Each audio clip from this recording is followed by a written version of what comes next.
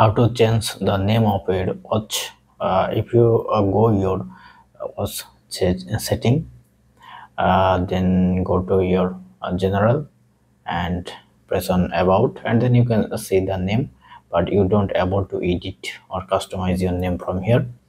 Uh, to edit or customize your name you need to go your uh, icon open up your watch and then scroll down and go to your general and press on about.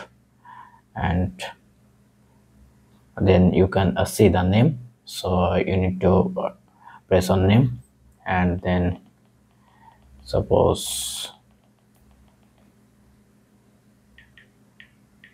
watch. Then press on done. And